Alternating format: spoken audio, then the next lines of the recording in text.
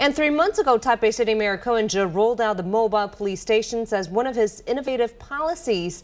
However, only 23 cases were reported to these mobile police units, with some 1,800 requests being other services such as providing directions or calling a cab. Some have criticized the initiative as misuse of police manpower.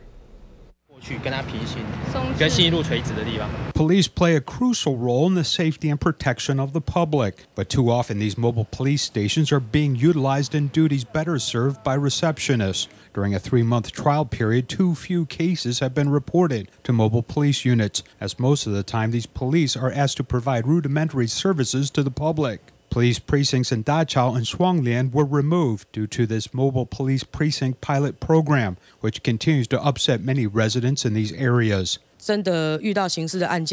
The mobile police station will have to take people back to a physical police precinct to report a criminal case. The station is not intended for crime reporting, but more like a mobile command station.